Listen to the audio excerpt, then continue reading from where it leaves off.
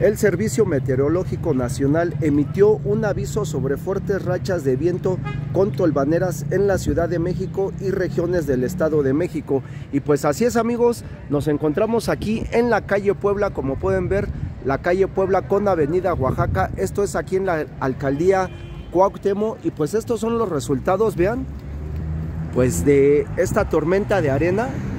Vean cómo eh, pues quedó aquí pues son, son láminas con algunos tubos eh, que protegían pues este terreno. Y pues imagínense qué tan fuerte estuvo esta tormenta, qué, qué tan fuerte estuvo al grado de pues de tirar eh, pues estas láminas.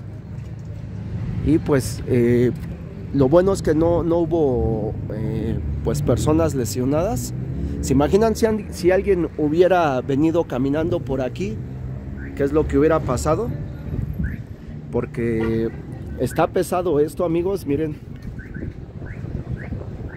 Pues es, lámina, pero el tubo, el tubo sí está grueso, como pueden ver. El tubo sí está grueso y pues también no, hubo un cortocircuito porque ahí vemos el medidor, vemos la caja eh, donde van los fusibles, y pues ahí están los cables de luz amigos. Pues esto sucedió aquí en la Ciudad de México.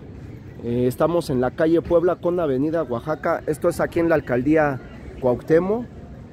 Y pues lo, bueno es que no, no hubo eh, pues eh, daños que lamentar en cuestión de personas más que pues la estructura verdad de metal con los tubos pues vamos a seguir eh, reportando amigos, ahorita eh, ahí en el Metro Insurgentes también había unas láminas que se estaban despegando ahí eh, fuera del metro, del Metro Insurgentes. Ahorita vamos a ir para allá y vamos a ver si ya, ya las arreglaron o algo así.